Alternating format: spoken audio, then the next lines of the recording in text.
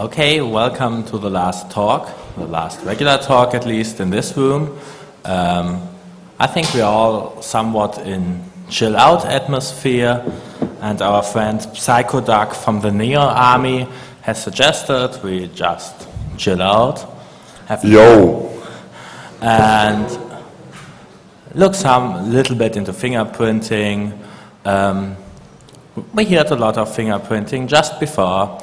Um, and we'll now look more to the application layer. Um, we'll see some tools, see some problems, nothing groundbreaking, but there's out, there's so much stuff about fingerprinting we didn't, didn't knew um, before we looked into that problem, and probably some of that you don't know, and we'll show you some of the things and some of the new things we developed. Um, we promised to release our new fingerprinting engine um, at this lecture, but basically we didn't manage to pull all the code we've written on fingerprinting together. So we are releasing a bunch of tools, um, but not the great unified solution of all application layer fingerprinting tools. You have to write that yourself. Um, okay, here we go. Um, I'm myself from the Laboratory of Dependable Distributed Systems. Um, and we all three, Ilya van Sprundel, and um, Psychodoc um, met at the summer school, applied IT security in Aachen, which we all three and all other participants enjoyed very much. Um, and there we did several workshops and sessions and lectures on fingerprinting and wrote a lot of code and now let you participate. Um, We'll have another summer school next year, which will be great fun too. And if you are interested to participate, um, surf to the URL on the bottom of the slide, um, add you to the mailing list, and when we'll um, know the exact date, we'll send out a mailing and you can apply to be there. It's even free and fun. And a lot of work. You are expected to work around 20 hours a day for three weeks. He's uh, not lying. Yeah. Ilya was not sleeping all the time. Okay. So, what is fingerprinting? Um, we'll have a very short look into that because we just had a le lecture on fingerprinting in this room. Um, then we'll look, no, we won't look into TCP IP stack fingerprinting. I've thrown all the slides away when I saw that there's a TCP IP stack fingerprinting presentation just before ours. Um, and then we will look into application fingerprinting, show some of the more obscure tools. All in all, application level fingerprinting isn't that well known. Everybody knows that Nmap has an um, option for TCP stack fingerprinting, and there are tools like POF um, or Xprobe, which do TCP stack fingerprinting, but application fingerprinting is not that well known, and there are banner grabbing tools, but there are a lot of obscure tools. And we think application fingerprinting is more fun.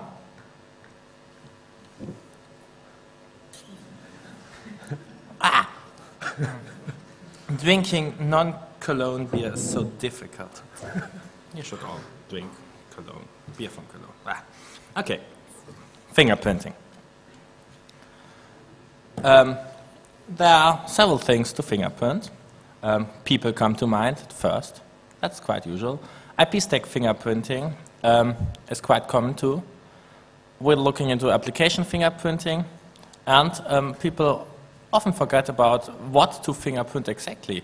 Um, you can fingerprint clients, and in fact it seems that the first approaches on the Unix security community were fingerprinting clients, um, and you can fingerprint um, servers, that's the thing most people do by doing TCP connections or connecting to mail servers or whatever. Um, what is fingerprinting at all? It's comparing features which make something identifiable. It's very seldom an exact science. Um, so, for example, the fingerprints police uses of humans, um, they say there's no chance that two fingerprints are identical. But it is, and the comparison is not an exact science. You can't do just compare two images, but you have to extract which features you want to care about and which to throw away and scale that and change that. Um, so fingerprinting is always somewhat fuzzy. and the value of fingerprinting is in the databases to match against. Um, that's the reason when we started to use genetic fingerprinting um, in the last few years that near crime cases all somewhat suspect persons, uh, usual males, um, were asked to give genetic material to build that database and then use it for fingerprinting with um, and comparison in the fingerprinting process with genetic material um, found at the victim or something else. Um, and that's the reason why the police is keeping fingerprint databases for years now, uh, for centuries now. And that's the reason why the value in fingerprinting tools um, is very much in the databases they have to match against. That means that a private fingerprinting tool is of very little value. There's really, really good reason to make your fingerprinting tool publicly available and encourage pe people to submit additional content to the database. Okay, TCP stack fingerprinting. You've just seen that. Application fingerprinting. Um, first, the, the tool for doing application level fingerprinting by hand is SOCAT. Um, many of you might knew Netcat, um, but SOCAT is so much more feature rich and so much more logical to use. It's like if you compare um, the tool set delivered with one of the first Unix versions um, with the tools now available to a modern free Unix distribution. Um, some people came, um, claim that Netcat is the Texas chainsaw of networking, um, then SOCAT is the Texas, um, the, no, no, no, the Swiss chainsaw of networking. If so, SOCAT is a um, Swiss Army, whatever, uh, the great thing of networking. um, it, it, can really do anything which is can be um, abstracted by a file or a socket on Unix um, with PTYs and so on. You, you, can really do a lot of nifty stuff. Um, the, the most simple way of fingerprinting is banner grabbing. Sometimes you don't even need a database if the banner contains the name of the server. Um, but there are more interactive approaches. Okay, banner grabbing is simple. Connect, get the response, disconnect, hope nothing breaks in that process. Interestingly, some servers break in this process because they ask you or they expect you to um, say goodbye before you disconnect. Um, but such software is very seldom on the internet nowadays um, and works very nice for many protocols. For example, many people are not available that very simple banner grabbing is available for SSH. Um, so SSH is a binary protocol, no banners there. Yeah, you're right, but bef before the binary handshake starts, um, there is a clear text banner, and for some reason programmers have a high tendency to put all kinds of information in the banner for debugging or whatever. So um, FreeBSD has a tendency to announce the exact version, even um, with the date, so you can be sure if something has to be exploited uh, can be still exploited or not, or is patched. Um, some people patch the um, banner to, be, to read something special. Um, some other people put in the distribution and the exact version in the Linux community. And there are even um, other things like the, all, all, of the upper examples were OpenSSH, um, there is SSH, the commercial version, and if you go on scanning for stuff, um, you also find some very interesting implementations you're probably not aware of, of the SSH protocol. A very nice tool for grabbing SSH banners is SSH scan from Niels Provos. Um, who Niels Provos writes very good network programs, and SSH, uh, Scan SSH is a very good implementation of that. And that's just some example of um, scanning a random network of an SDSL provider. Um, and while the first few SSH versions, I can understand what that is. I have no idea what ASL OpenSSH is, and I know, don't know what the SSH protocol compatible server SCS20 is. Probably something to look into if you're looking for some usual software which wasn't um, researched that well for security vulnerabilities. So by just grabbing banners, you can find out a lot of certain protocols, even meant to be secure protocols like SSH. Um, and other nice example is um, FTP. Here we have an example where NCFTP even puts the licensing in the banner. What matters that for the other side of the network? What license does a, ser a server uses? But that's in there. Um, and we'll find um, commercial FTP sites which have a non-commercial license in their banner and stuff like that. Um, other things identify very nicely their version and if you are once into connecting to FTP servers, before disconnecting, you might try the syst command. That's the um, first part or the first step where we leave just banner grabbing and asking for more information um, for the system. The FTP syst command doesn't deliver that nice information, so it's BSD44, that can be anything, nearly. Um, but at least you get some more information to understand what's running on the other side of the network connection. Um, with a wonderful um, SOCAT tool, you also can um, do a large-scale banner grabbing, just download a few pages which contain lists of FTP servers, for example, mirror sites, um, of Unix distributions, um, use a little bit Perl, pipe that all in SOCAT, um, and you have a file with a lot of banners um, to look for interesting servers. Perhaps they are interesting because you want to look what files are on there. Perhaps they are interesting because they are obscure software you want to play with.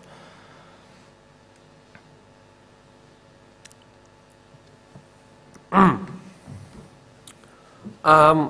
Telnet is an interesting protocol for fingerprinting uh, because it is an awful lot more complex than most people think it is.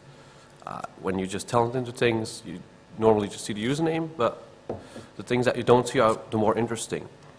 Um, when you make a telnet connection, um, there's a thing um, that happens which is called session, session negotiation, which allows you to um, set an awful lot of interesting properties, such as um, set environment variables or um, echo all the stuff you, you throw at them, or a number of other things, which you can just look at in the RFC. Because of this uh, session negotiation, um, almost any telnet daemon will, uh, uh, almost any telnet daemon on different operating systems will give you um, different responses. So that makes it um, an ideal protocol for fingerprinting.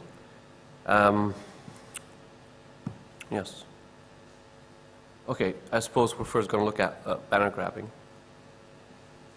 Oh, this is another uh, nice um, SOCAT thingy that Max made. Maybe you should give some explanation about that because you probably understand it better than I do. I think that's a FTP slide and um, probably... I hit the wrong button? Yeah, or the computer fell down and the slides got mixed up or something like that. Yes, I hit the wrong button. I'm an idiot. Um, so we are first going to look at... Uh, thank you. We are first going to look at um, uh, banner grabbing. Um, here you can see that um, if you make a simple connection to a telnet server, the first thing you will get is some binary data instead of the banner. Um, if you make the connection again, and you actually use Telnet, you don't see the um, ugly binary data, but you see the actual banner. So um, I think that's very important to state. Many people use Telnet as a generic network connection tool, but the Telnet client utility um, does a lot of stuff behind the scenes. And you see, if you use a ge generic network connection tool like SOCAT to connect to a Telnet server, you actually get completely different output than you get by using Telnet to connect to a Telnet port. That's something to keep in mind when playing around with Telnet. And usually Telnet clients are built in a way that if you connect to the Telnet port 23, they play Telnet protocol. Um, and if you connect to another port, they act as a netcat emulation or something like that.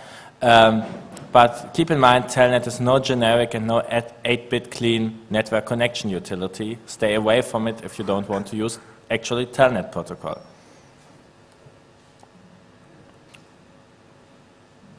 Mm. Yes, here you can see again a lot of the uh, binary data which Telnet uses. And under, underneath you can see the banner or just the uh, uh, user the string you get that asks for you asks for your passwords. This is a bit more of all the same. Again, the banner. Um, yeah.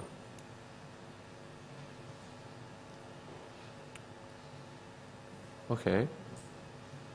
Um, yes, this is all about about the same stuff, I suppose.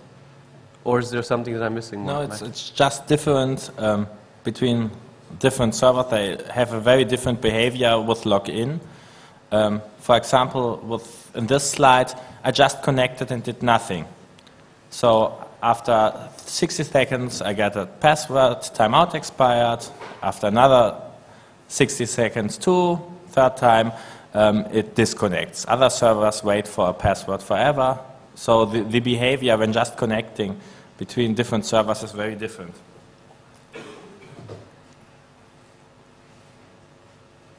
Yes, which is what you can see here.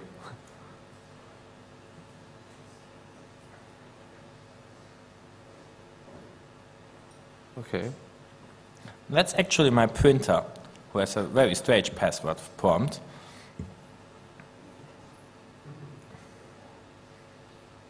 Okay, this is uh, an interesting thing that I found a while ago. Um, this is actually an, uh, an, OS, an AS400, running OS400, that I accidentally found while crawling Google for interesting targets for Telnet fingerprinting. I think it's quite interesting. Unfortunately, um, while we were testing this thing again, because we wanted to show this on a demo, but while we were testing this uh, earlier, we noticed that um, that screen is not there. In, well, the login thing isn't there anymore. So unfortunately, we couldn't give the demo. Um, yes. Uh, the more interesting things about the Telnet protocol is that it will basically have, um, have four basic um, commands, which, will, which is will, won't, do, and don't. Um,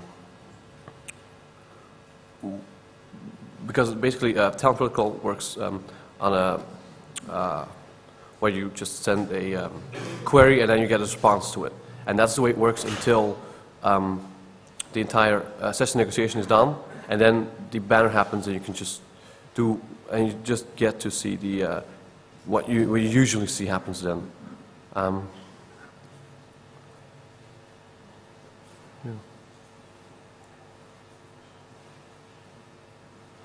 Um, the Telnet FP is actually a, a pretty cool uh, program written by uh, Palmers of Teso. Um, the database is fairly old, as you can see here. Um, updating database on itself isn't that easy. I've tried a few times, and if you don't do it exactly the way it was intended, oh, I'm an idiot. yes. Um, the, the problem is on our screen, we see the whole slide already. That's a bug. We should report that to Apple.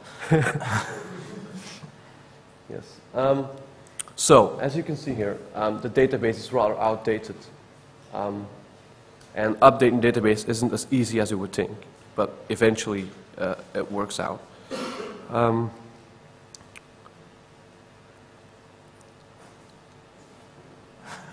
so, basically, that's just to show off that um, the database of Nmap looks more current, but then again also um, it's a little bit contradicting because it claims the telnet D is from AIX uh, and the FTP daemon is from HPUX.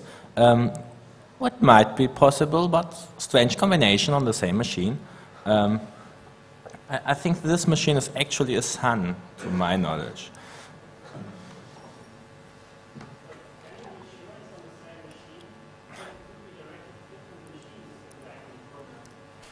Yeah, it could, um, but we know the operators.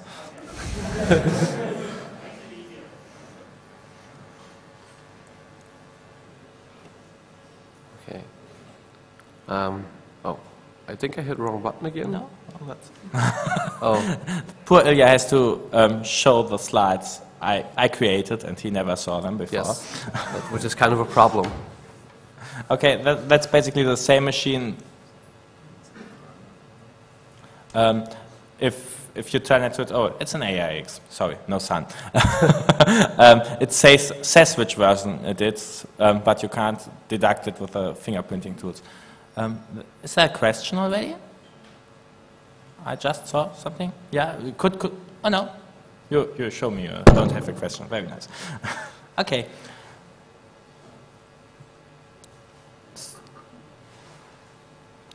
Um, so we can see here Telnet FP um, has already the ability to do some fuzzy kind of matching. For example, for this machine, it has a very wide range of um, operating systems. This might be.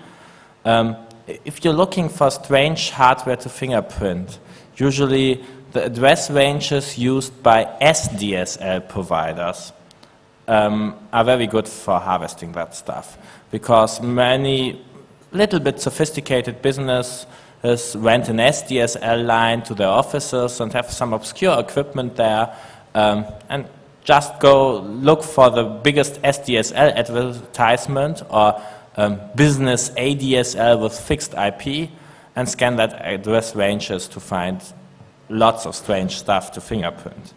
Um, so here again we see Nmap and Telnet FP disagree heavily. Um,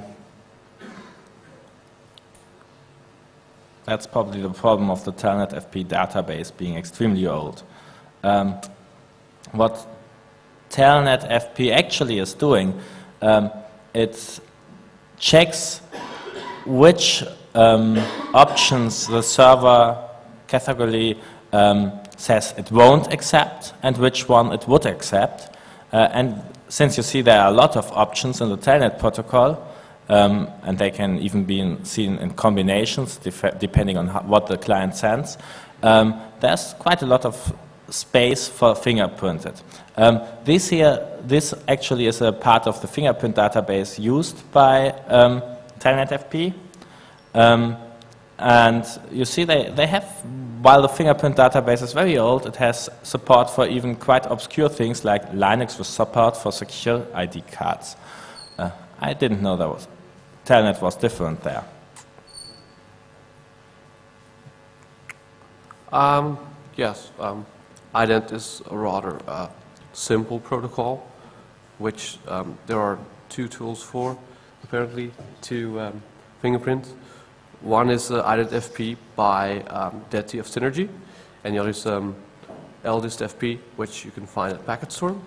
Um, the, comment, the above comment is false, by the way. Um, IDENT FP is not a lost tool. It, it can be found, it's just that apparently the Synnergy guys have reorganized their website.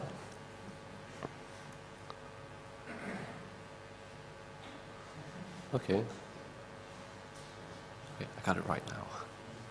Um, this is a small example of um, when you do things manually, of uh, what you get.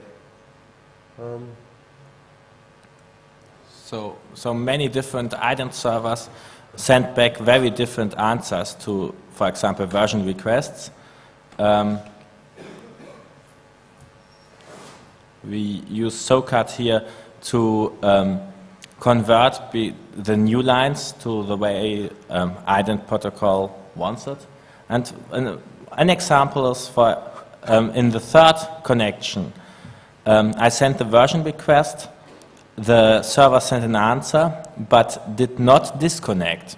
While in the first two connections, the server disconnected after it sent an answer. That's something to fingerprint on, and you still could fingerprint on the different answers seen. Um, for example, the fourth request now sends a quite strange and non-standard answer. Um, the University of Berlin sends a very extensive answer, um, far more we ever wanted to ask for, um, even with compile time of the software. Um, other identities, pidentd versions do that too. And then again, this identity didn't answer at all. It just closed the connection after the version request. Right, FTP map, which is one of the tools that we've extended, so I can tell you something about that. Um, it, was it is written by the Jedi One, which is the guy who also made pure FTPD. This is um, the way it looks like when you run it, or this is the way it used to look like uh, when you run it. Um, basically, what it'll do is it'll send out a lot of probes and just ha- make hash out of every reply it gets, and that's those are the numbers that you see. And afterwards, it'll match them against a huge database that it has, and it'll even do um, it'll even detect uh, it, it'll look for the one which uh, which looks the most like one database. So, and the cool thing is that next to it, you see um, by how much it was off. But, but in this case, it was very off because this again was my poor brother printer uh, and not a pure FTPD on the brother Yes. printer. But that was, well, I believe that it was mostly due to um, not enough fingerprints in the database. So we fixed that. I don't think we fixed it for the printer, but we fixed it for a lot of other things. Because the tool is about three years old, and um, there, there was quite a lot of development in FTP daemons and stuff um, in the last three years.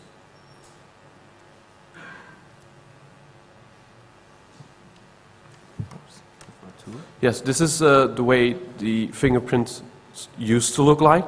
Um, it was hard-coded. Um, yes, um, yeah, I will say something about that. Next slide, I suppose.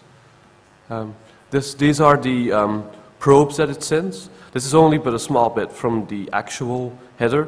It sends about 150 probes when not logged in, and then it logs in or tries to log in, and sends the 150 probes again. So it sends about 300 probes. So this will make noise. Uh, this will make noise.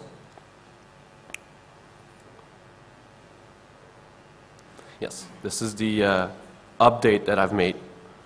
The previous version, the one that we've described, was 0.4, and um, the update basically has an actual database, which is far more easy to update now. Um, it also checks um, if you can't log in, and it'll print a warning message saying that the fingerprint might be less reliable because you can't log in. Um, previously, it also had a bug um, that it would do IP version 6 and 4, regardless of your computer supporting it or not. Um, uh, yes, the um, output you got. Um, oh, That's it? Oh, wait a minute. I want to go back. Oh, we we don't have an output of the new tool. Yes, but we have an output old, of the old tool. So the, um, the output that you ha see here, the numbers, is uh, uh, fairly annoying because um, it doesn't fit on your screen. Um, that is somewhat improved and it should fit on the screen now. So even good user interface improvements. Yes, somewhat. Um, yes, the fingerprint database uh, got doubled. Um, a few annoying bugs also got fixed. And in about 10 minutes or so, you should be able to download FTP map 0.5 if you're interested. Okay. Um, then uh, there's SMTP scan, um, and there's a very nice paper um, describing it. Um, SMTP scan works very similar to um, FTP map. Um, we see here example output of it. Um, we will see.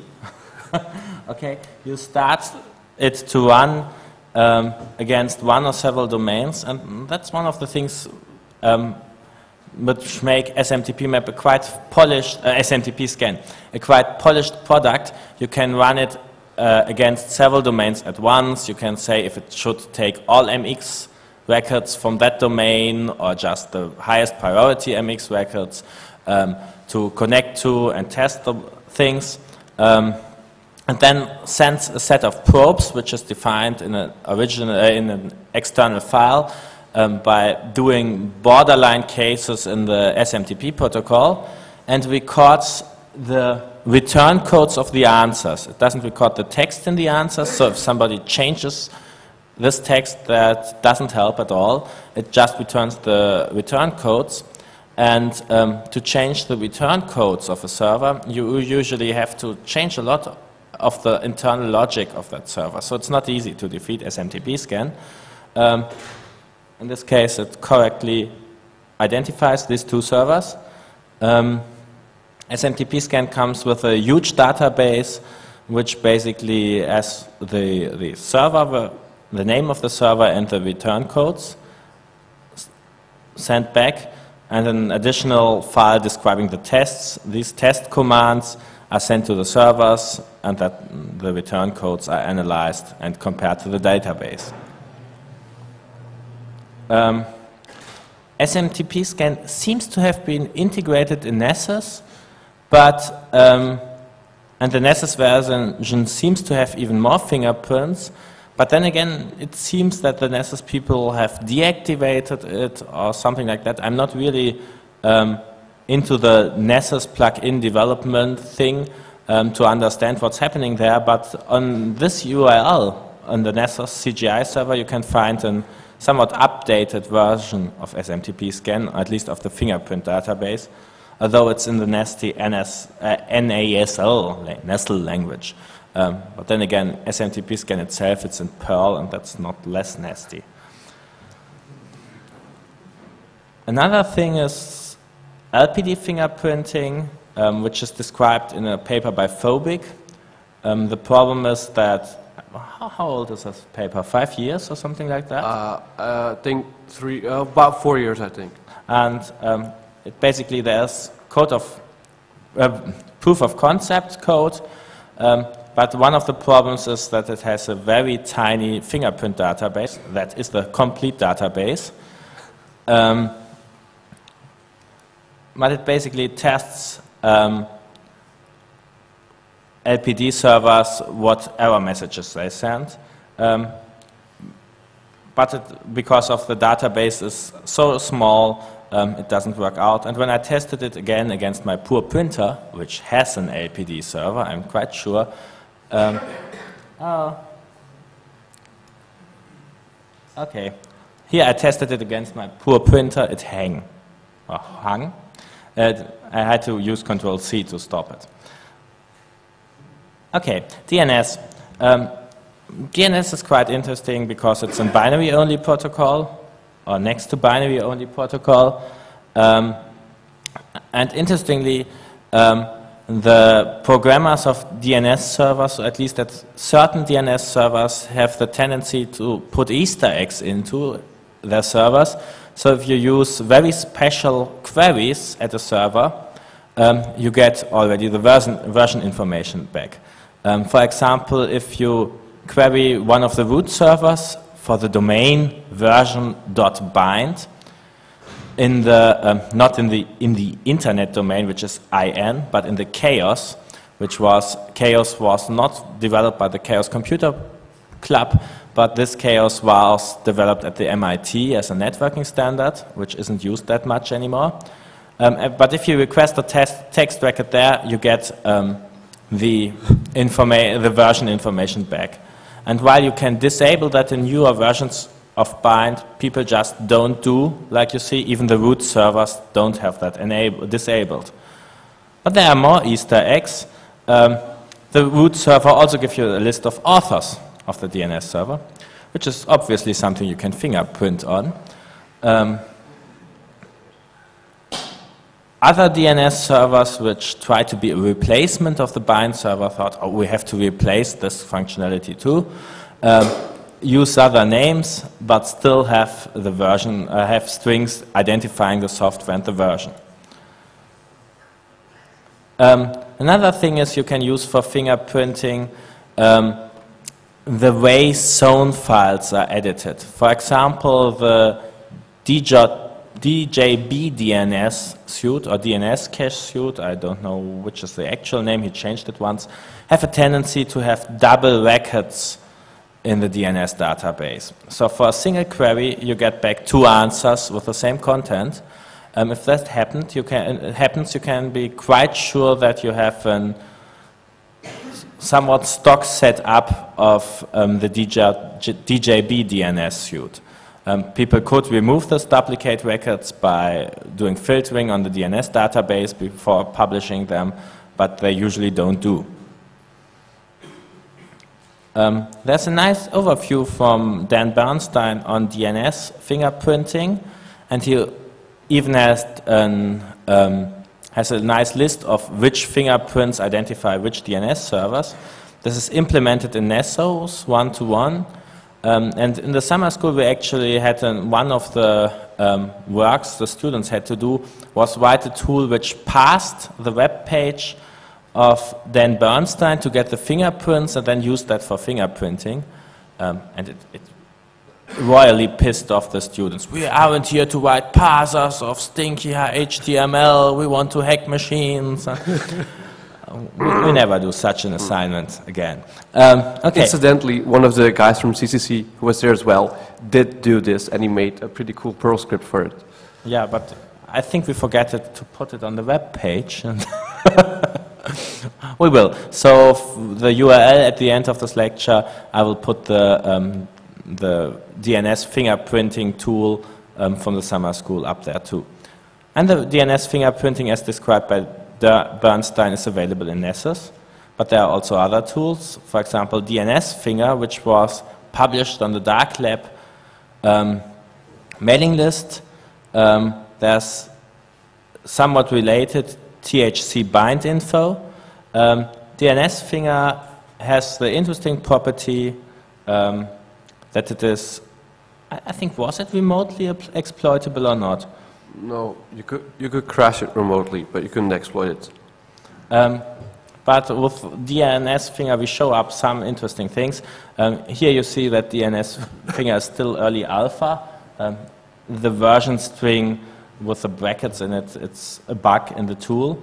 Um, Nmap can also do some DNS fingerprinting and correctly identifying um, this DNS server as ISC bind. Um, here again, that's, that's quite interesting. Um, NetCologne identifies itself, if you look for the version string, uh, as NetCologne is a big internet provider in Cologne. Um, as net cologne name server. So I think how lame is that? Take a stock bind, as we've seen, bind 923, and just rename it as net cologne name server. I think the ISC um, could sue them for mislabeling. You know, you, you can't. You don't think so?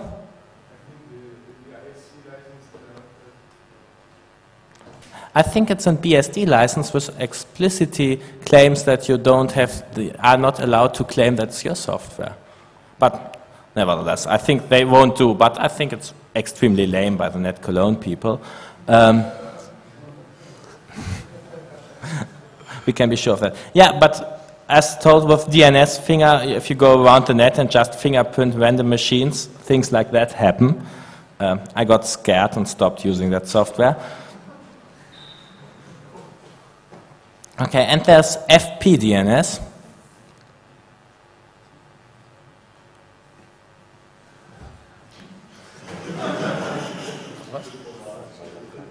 oh, I should tell you you should use the microphone um, if you're asking something. I'm very glad I'm not being told that I should repeat your questions, which I forget all the time. Okay, um, there's also FPDNS, which is a quite decent tool. It seems still to be maintained. It uses a decision tree. That means it doesn't throw all possible tests at the server and then um, analyzes the results, but use only the special tests used to decide is that version or this group of versions or that group of versions and then um, uses handcrafted this tests for to finally come to the result that it's a certain server.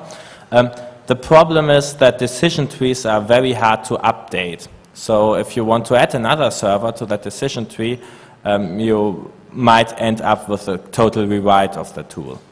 Um, it's available at, from Sweden, and it's a good tool. Um, output look, looks like this.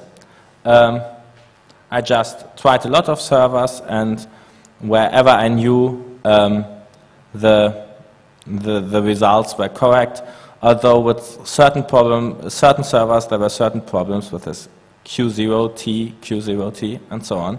But all in all, it's the nicest DNS fingerprinting tool um, to have. It also gives you information if it's just a normal DNS server uh, or a DNS server which publishes information or also works as a DNS cache allowing you to do recursive queries on there. Okay, and a very interesting thing which hasn't been researched that much to my knowledge up to now is multicast DNS. Um, there are several names, it's marketed and under um, Apple probably is most famous with the name Rendezvous, um, IP version 4 LL local link, uh, zeroconf, multicast DNS. There's a nice web page at .local.org describing the whole thing. And especially Macs are extremely chatty um, when speaking multicast DNS. Um, multicast DNS is happening on port 5353. Um, if, if, you just try to use um, a DNS querying tool, it doesn't work out. Um, you basically don't, can't use the local address, but if you use the multicast address on your machine, you, you get an answer. Coldcard local is the multicast DNS name of my machine.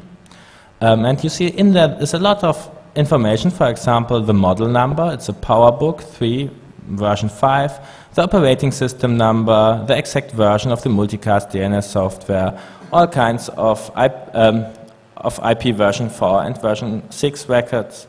Um, if you ask for other names identifying other um, services on that notebook, you get information that there's an SSH day running, um, the name of the machine, Coldcard, um, the MAC address of the machine, um, but also, um, for example, the, the version of my iPhoto software and iTunes software, and if you can request things there, um, lots of stuff. Um, one thing is that seemingly, since it's multicast, um, on a multicast local network, you can't do that over the internet. Um, but it would be extremely nifty if somebody looks deeper into that and if one could get all this information, like MAC address and installed iPhoto and iTunes software and so on over the internet. Ah, that again, that's the information from my Airport Express, which also sends out a lot of stuff. And more and more information available via multicast DNS. Chat information if I'm online. Um, multicast DNS, the draft of the protocol says um, that all the information um, should basically um, check, or the servers should check if the TTL is still with 255, um, and so to be sure that the information is not requested from a machine which is several hops away. That, that's basically um, the main obstacle in using multicast DNS over the internet to get information out of a machine. But there may be ways to get around that in the implementation by Apple. Okay, something completely different is IKESCAN. Uh, I think we're, yeah, we're getting somewhat short on time. Um, in many scenarios, um, if you are looking to a uh, company which has hardened their internet border, you have SMTP because they need that to get mail. You might have HTTP if they don't host their websites somewhere externally. And you have their virtual private networking way uh, connections and IPsec stuff. And there often the IKE port is open. Um, and IKEScan, oops, IKEScan is an interesting tool. Um, I think it was published this spring, or is it older? Uh, I have no idea. Okay, it's, it's not that old. Um, and it can fingerprint the IKE protocol implementations used to um, do the IPsec setup. So that's quite interesting stuff. If, uh, even if a company is very well hardened, you might be able with um, to find at least out the software of the VPN router, and that might point a stepping stone to get further into the company, or at least um, if you have to write a report on that to impress them, we know that your firewall 1 version that that is very well configured. Uh, okay, there are several tools. Um, we have now seen tools which were only for a single protocol, several tools who try to integrate that. Probably the first one was VMAP, um, which does more or less banner grabbing um, in a little bit sophisticated way. Um, if you want to test that on macOS, you need a patch available at that URL. Um, AMAP is from the same people and much more advanced. And finally, Nmap, since version 3.5, has um, application layer fingerprinting too. Um, a short look at AMAP, um, running against a server. The information isn't that detailed. Uh, before we did banner grabbing, as you might remember, on that machine and got a lot more information than that it might be an OpenSSH daemon on the SSH part. Um, but that might be just a problem that the fingerprint database isn't that um, well developed and that big. Um, AMAP has a concept of triggers, so it sends certain information to ports, like user AMAP or hello AMAP, um, and then has a database where um, where the replies to that triggers are mapped to certain servers. So, for example, oh, that's small. Um, so, um, a good example is for um, the, the finger. Um, these are the replies sent by different finger servers um, when being requested some more or less random string by AMAP. Um, for, for the HTTP servers, the error message is fingerprinted, or since the triggers also contain HTTP requests, um, even more is fingerprinted like part of the um, HTML page, in, as you see in the last line, where the JetDirect default answer, answer to a request uh, one of the requests AMAP sends is non-supported in the title. Um, Nmap works quite similarly, um, get, gets better results. Now, Nmap again, running against the same server, you see it identifies the SSH protocol or the SSH server, for example, much more detailed. Um, but then again, it's wrong I'm quite sure that's not WuFTPD running there.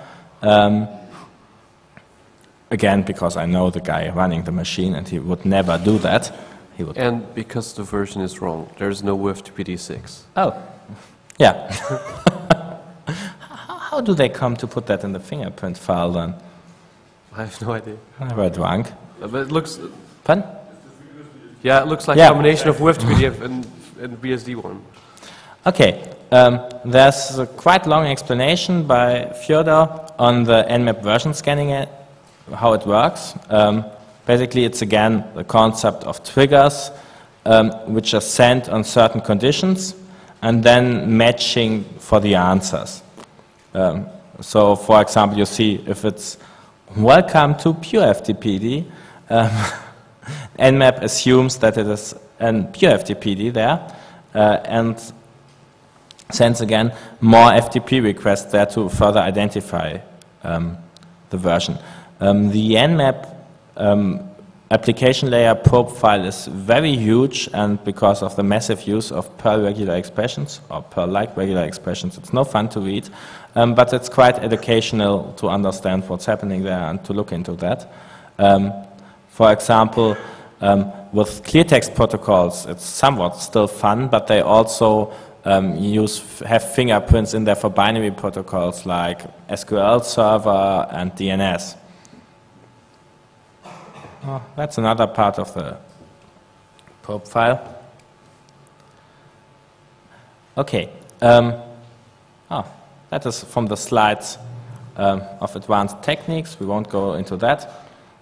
Um, then you, you might be able to fingerprint fingerprint attempts. Um, or you might be able to use the fingerprint databases to fall fingerprint tools. Since you know exactly what they are looking for, um, you can send them what you want them to see. The most famous example is probably Honeyd. Um, in the lecture before we heard about the IP stack identity module for the Linux kernel, which somewhat works the same way. Um, Honeyd can simulate one or more IP stacks. I think it was tested with several 10,000 IP stacks emulated at the same time. And it uses the databases of fingerprinting tools to emulate the IP stack. So basically, it gets the databases of Nmap, Xprobe, and p0f. Um, and you say, I want to use, uh, simulate something which has the same fingerprint for Nmap, Xprobe, and p0f. Um, and, and then it adjusts its IP stack behavior, it's no real IP stack, uh, accordingly to look as one of the operating systems you simulate there. Um, we, we tried to um, take that some further and said we are more interested in applications and many people are trying to simulate applications with Honeyd by writing shell scripts which are started by Honeyd if somebody tries to connect to a certain port, and then use shell commands to simulate a web server or mail server. Um, and we said, why shouldn't we um, turn around the, or take the approach for the Honeyd takes for the IP stack and use it for the application layer. And basically, Ilja did a proof of concept code in one night. You, you know, he wasn't allowed to sleep during the summer school.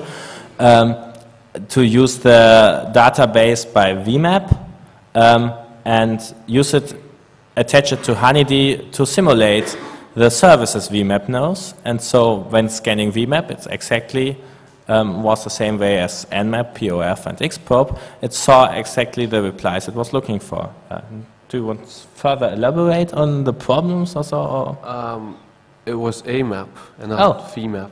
Oh, that's, that's very good.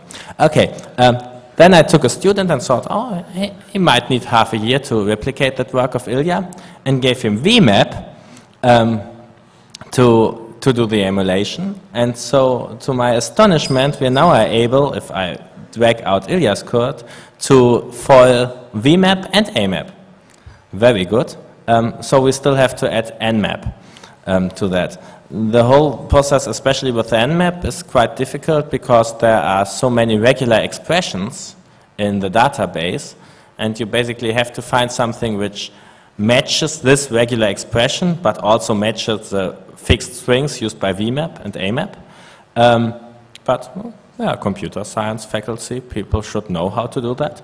Um, the, the initial code now for AMAP simulation is written by a student at the Laboratory for Dependable Distributed Systems, Thomas Appel, um, and he was so friendly to publish it. Um, so you can download it at core23nu and this URL.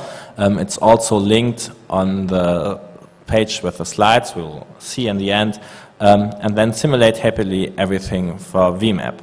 Um, we'll come up with more code in that direction to automatically simulate services um, with Honeyd applications. You can expect quite a lot of stuff more we have in the pipeline at the laboratory there. Okay, um, in, in the summer school, after we did um, three hours of lecture on fingerprinting, we were told that we are so stupid and doing it all wrong and have to rethink the whole process um, because fingerprints or the, the probes sent and the answers sent back, uh, the probes sent are more or less ha handcrafted and then the answers are collected and it's very manual process like a, a cottage industry or craftsman. Um, and we should look into others who fingerprint. For example, the people attacking anonymity systems. And they look for traffic patterns and stuff like that. And you can't do that by hand. Um, so George Danezis put his code during this, uh, put his code where his mouth is during the summer school and hacked a proof of concept implementation. Um, and this thing is really amazing. It um, eats away all your computing power. We, we now have to rewrite it to use distributed computing.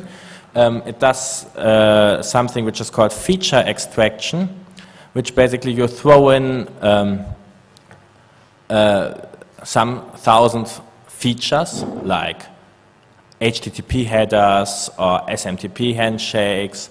Um, we did a test with, we basically dumped the probes used by SMTP scan and used them uh, then with this um, cross-core tool to find the most similar ones or to, to put it as input in there.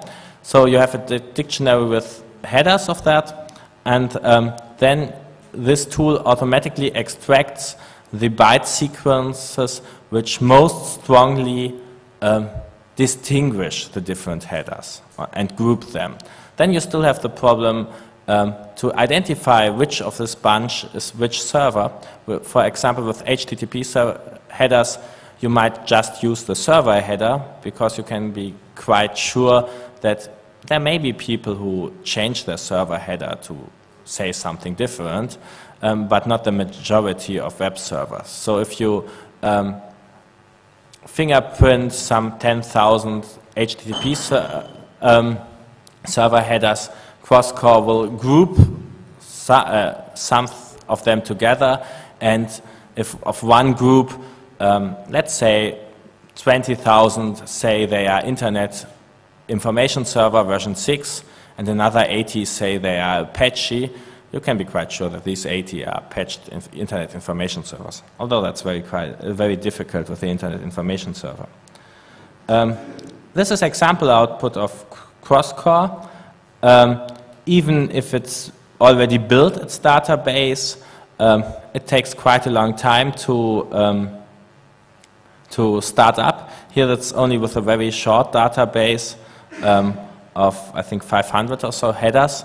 Um, if, if you start it and there is no database, it rebuilds it automatically. Um, but I, I wanted to present it with more interesting data for the concourse, but after uh, ah, 20 or 30 hours on my notebook crunching away with that stuff, I stopped the process. Um, and then it generates output like this. It's very interesting because it's, it's not handcrafted. Nobody would come to the idea that the content length header is the best one to distinguish servers. Um, CrossCore thinks it is. Um, but these are the features it identifies certain servers with. For example, the ASP session ID probably is something good to um, identify and then it says what the top matches are for this server. And in fact, they are right, it, it, was an Internet Information Server version 6. In fact, it was exactly the same server as was before used as a database in this file out 199. And the charm of that is that it can work with other protocols too. Basically, everything which is al always the same or at least likely the same if you repeat it over, over and over again, into which you can dump in text files for CrossCore to, uh, um, to analyze. Yeah, um, this is a slide we came up after we started drinking beer. Things that broke while development. Even the T's. um, it, it was quite interesting if you do fingerprinting, you, you send servers borderline cases, commands which aren't that usual and aren't meant um, to be sent.